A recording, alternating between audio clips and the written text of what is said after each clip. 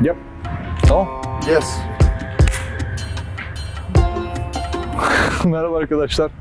Sofa hoş geldiniz. Bugün Aprilia Tuareg'i inceleyeceğiz. İncelemeyeceğiz aslında da işte baktık sizin için şöyle bir aşağı yukarı nasıldır, ne değildir, nedir falan filan diye.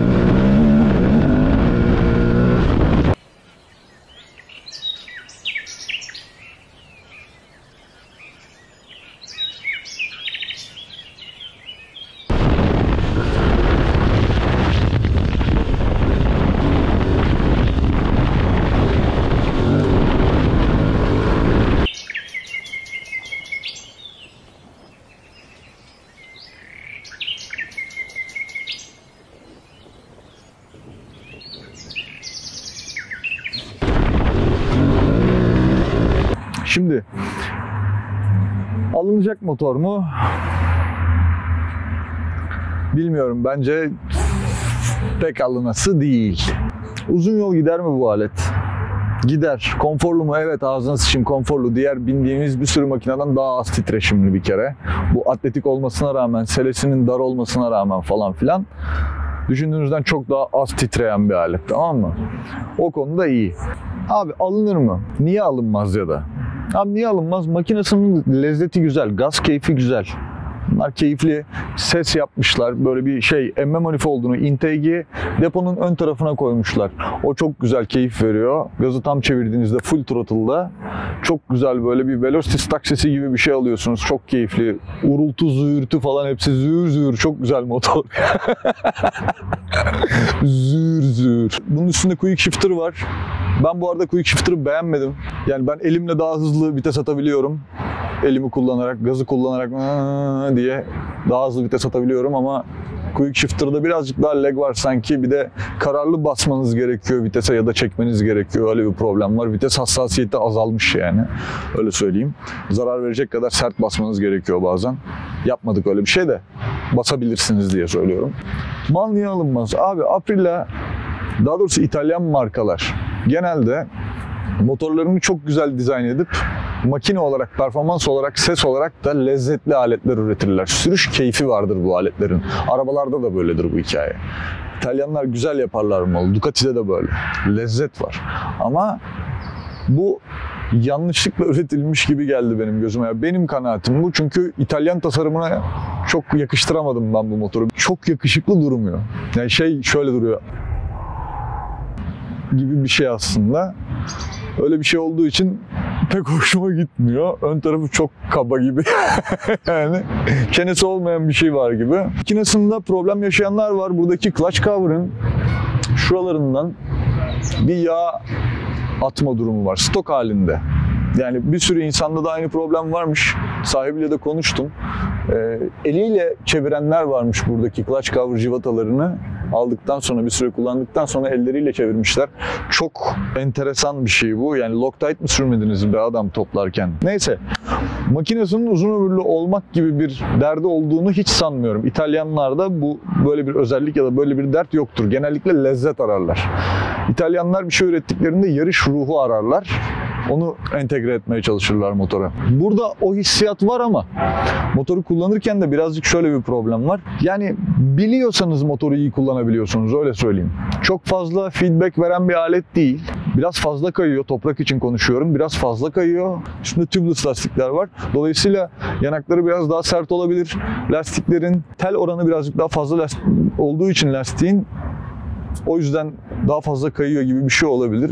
Ormanda, toprak kullanımında ya da kayalık kullanımında lastik yanaktan atmasın diye birazcık fazla basınçla biniyorsunuz. O da tabii sürüş keyfinizi ya da tutuşunuzu bozuyor. Böyle bir olay var. Dayanıklı bir motor mu? Yani kırılganlık anlamında söylüyorum. Uzun ömürlülük anlamında değil, makine anlamında değil. Şasi, süspansiyonlar olarak dayanıklı bir motor mu?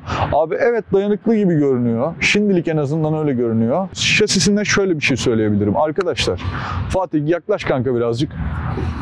Arkadaşlar, şimdi Tenere'de şase şurada bitiyor diyelim ki keza bunda da öyle. Burada şase bitiyor ama bitmesine rağmen Tenere'de buradan bir demir indirmişler ve şurada bir yere bağlamışlar. Şu an Tenere'de de gösteririm size bunu diğer motorlarda da. Bu birçok motorda artık yenilerde yok.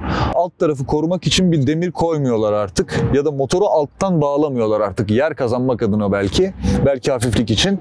Ama buraya skid plate koyduğunuzda siz bunu şaseye sıkıyorsunuz. Şasi normalde. Şaseye sıkmanız lazım yani. Alttaki demir boruya sıkmanız lazım skid plate'i.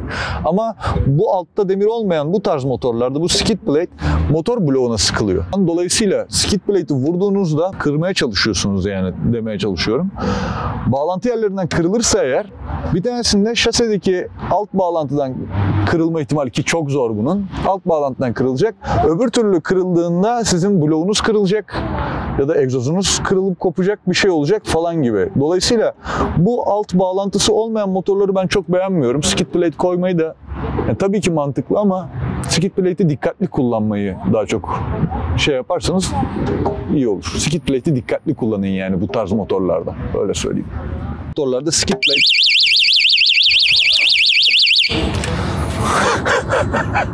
Alınır mı? Ben almam. Yalan yok. Yani niye almam? Amortisörleri işte potansiyeli var yok değil şimdi yalan söylemeyeyim amortisörlerini ama deli gibi de bir ayar yaptığım yok aslında. Günlük kullanımda birazcık fazla yumuşak duruyor ama ön amortisörü.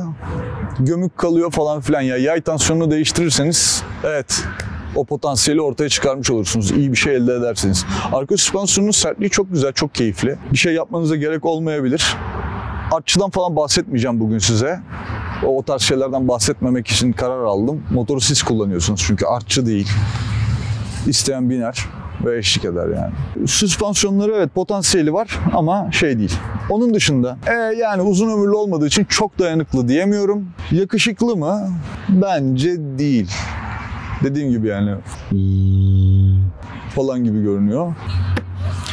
Mal gidiyor mu? Gidiyor. Mal gidiyor. Gitmiyor değil. Tabii gidiyor yani. O çevir, çevirdin, çekili tuttun mu gidiyor. Çekili tuttun mu her şey gidiyor. Duruyor mu? Duruyor. Yani ön fren performansı falan bayağı iyi aslında. Duruşu güzel ama viraj kabiliyetini ben çok beğenmedim desem şimdi anama avradıma da sövmeyin yani. Böyle virajda sanki çoğu motorda bir fren şeyi vardır toleransınız vardır. Bir dokunabilirsiniz falan. Bu çok onu hissettirmiyor. Abi dokunmasan iyi olur falan gibi hissettiriyor daha çok virajda. Öyle bir durum var. Yakıyor mu? Çok da yakmıyor aslında. Bayağı enteresan. 4.7 litrelerde falan filan 4.6, 4.5 yani 4.5-4.7 litre arasında falan filan geziyor. Bayağı başarılı aslında yakıt konusunda. Yetenekli mi? Yani yetenekli mal ama dediğim gibi kullanmayı biliyor olmanız lazım. Çok öğretici bir mal değil açıkçası. Biraz erken kayıyor falan filan böyle bir kararlı hareketler yapmanız lazım. Öğrenirken ya da denerken gösteren bir alet değil. Bastın trak kaydı ne yapacağını biliyorsun. Kaydı hop debriyaj yürüttüm falan gibi bir şey olması lazım. Biliyor olmanız lazım bunları yani. Dolayısıyla çok yetenekli mi? Siz yapabiliyorsanız o her şeyi yapabiliyor. Yani her motor gibi aslında.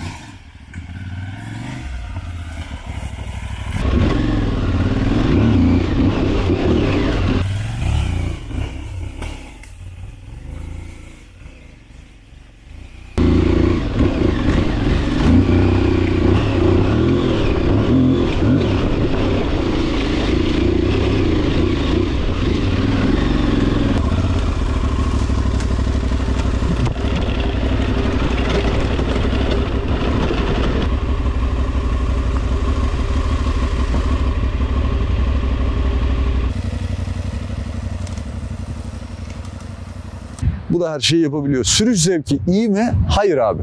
Sürüş zevki çok yok. Çok o racing duygusu, tadı, dokusu yok. Sesiyle alakalı var. Sesinde inanılmaz bir doku var. En azından sürücünün duyduğu seste inanılmaz bir doku var ama geri kalanında kullanımda ergonomik olarak ya da süspansiyon olarak ha, böyle bir lezzet söz konusu değil. Viraj kabiliyetini de ben o kadar çok beğenmedim açıkçası. Erken kayan bir alet.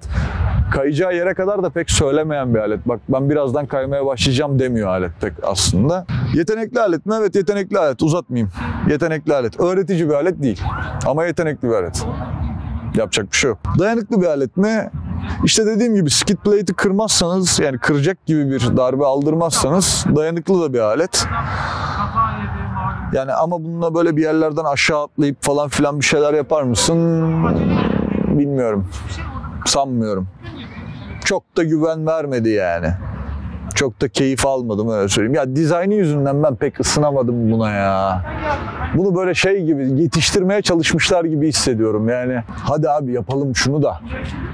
Millet bir sürü motor çıkardı şunu da çıkarın koyayım falan gibi bir şey. Ön tarafında çok büyük eksiklikler var motorun yani. Bilmiyorum benim gözüme pek hitap etmiyor. Tabii ki sevenlere hiçbir şey demiyoruz. Tabii ki sevenler seviyordur yani. İkinci eli falan alınır mı? Dikkatli alın alacağınız zaman. İkinci el alıyorsanız dikkatli alın. Pek de diyecek bir şeyim yok. Oturuş pozisyonu için ne diyorsun? Oturuş pozisyonu için ne diyoruz? Oturalım bir gör o zaman. Şöyle yapalım. Oturuş pozisyonunda şöyle aslında bir 90 dereceden fazla bir açı var burada. Tabii ben biraz sırığım gibi onunla da alakalı ama fena değil. Artçı pega bastığı zaman ayak ucu dışarıda duruyor birazcık. Yani topuğunuza değmiyor ama şöyle bastığını düşünsek topuğunuzu dışarı açmak isterseniz tabii topuğunuzu niye dışarı açasınız ayrı konu ama açmak isterseniz değmiyor normal kullanımda ama açmak isterseniz değecektir. Yani öne doğru çıkartırsanız ayağınızı değmeyecek. O güzel. Motoru kavrayışınız güzel. Bindin, ayağa kalktın. Kavrama hissiyatı, parmak hissiyatı falan güzel motorun. Konumlanması, gidon açısı, duruşun falan aslında keyifli duruyor motorun üstünde. Yine tabii çok çalışılmış, çok güzel ayaklarınızla sarabiliyor musunuz motoru? Yani ayağınızda bot varsa evet hissettiriyor ama bunlarla çok süper bir şey değil açıkçası. Ya arıyor musun böyle şeyler sokakta? Hayır zaten kullanıyorsun sokakta. Botla da yeterli hissiyatı veriyor. Çok da uzatmanın bir manası yok yani aslında. Nedir yani sanki? Böyle yani. Egzoz sesi falan yok. Gayet lezzetsiz. Burada Euro 5 diye bir tatava var. İşte bunu ne o? Aman ozonu delmeyelim falan durumları yüzünden böyle bir şey koymuşlar. Hep koyuyorlar. Daha da kötüleri olacak. Meraklanmayın. Motorlar daha da yürümeyecek. Daha da lezzetsiz bir hale gelecek hepimiz için. Falan. Onun dışında ekran, sürüş modları Abi gidin bakın kurcalayın. Ben anlamam sürüş modundan falan. Onların hepsini kapalı kullanıyorum. Ben öndeki şeyi kapanmıyor. Ne o ABS'si kapanmıyor. Ön tarafta açık kalıyor. Afrika gibi. Müdahale ettirmiyor önüne. Arkayı full kapatıyorsunuz. ABS'nin şeyleri var. 1, 2, 3, 4'ü falan filan var. Onları ayarlayın. Ben de işte ön taraf hepsi birde birde bir şeyler oluyor. Öyle. Onun dışında da pek bir şey yok yani. Ne diyeceksin işte. Böyle kullanılıyor, böyle gidiyor. Kullanırsan hepsi gidiyor. Kullanmazsan gitmiyor. Ama çok öğretici bir alet değil. Çok bir şey söylemiyor uzun lafın özü. Biliyorsan her şeyi yapıyor. Bilmiyorsan çok anlatıcı değil. Çok uzun ömürlü olduğuna inanmıyorum. Lezzetli mi? Lezzetli. Yetenekli mi? Yetenekli. Her şeyi de yapıyor. Başka da pek bir şey yok. Var mı? Yok. İzlediğiniz için teşekkür ediyoruz. Dikkat edin kendinize. Tuarek'teydik bugün. Görüşürüz.